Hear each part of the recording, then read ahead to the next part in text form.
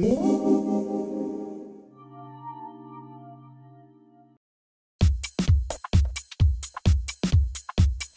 she loads up her brush and notice how she actually dabs in solid dots next to the circle. As she starts moving away from the circles, she lightens up her touch to make really fine dots.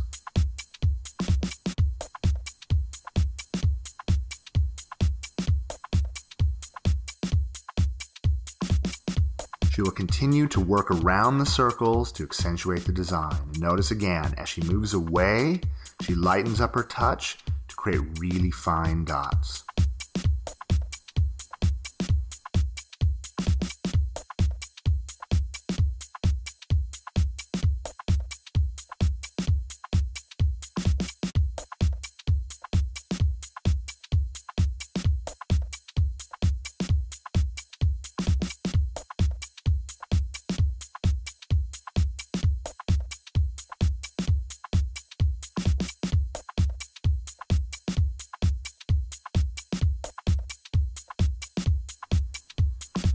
What she'll do is get a little bit more and add some dots inside the petal.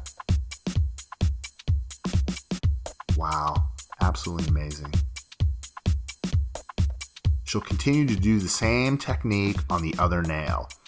Heavier dots towards the circle, and as she actually moves out, lighten her touch to create really fine dots.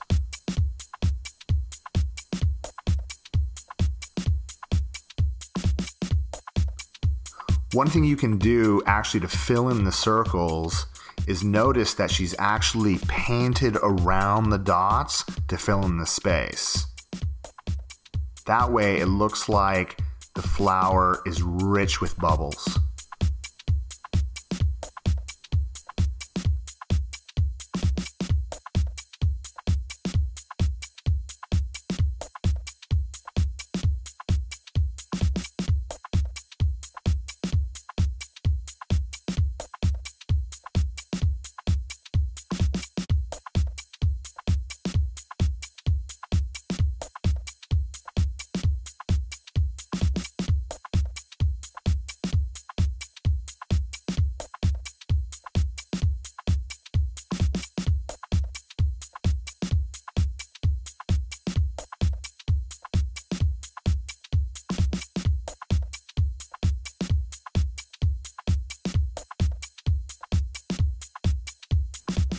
Christie's actually going to get a little bit of black paint on the tip of her brush and notice how she outlines the very edge of the petal.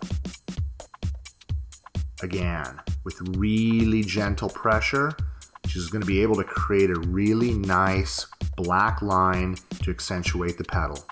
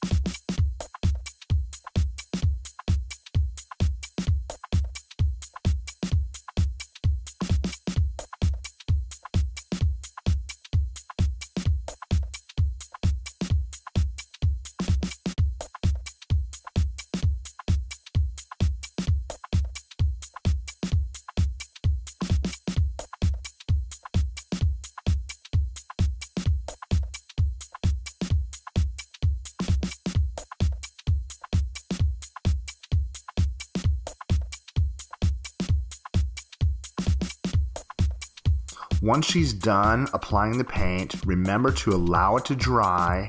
That way, when you apply the finished gel, you don't create any streaks with the paint. Again, a very light touch from cuticle to free edge over the design, making explode with shine.